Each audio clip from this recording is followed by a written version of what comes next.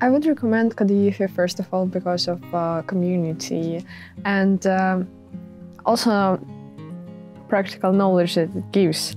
As a person who had experience with university with the same uh, uh, specialty, I would say that kood/Jõhvi uh, a lot different and uh, it gives something that you're actually using in real life.